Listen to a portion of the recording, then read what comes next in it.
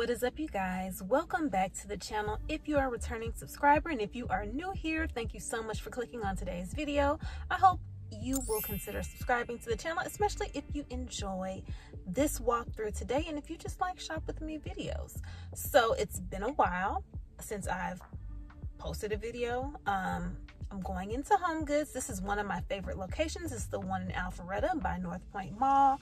I believe the last Home Goods fall Halloween stuff was at this particular store.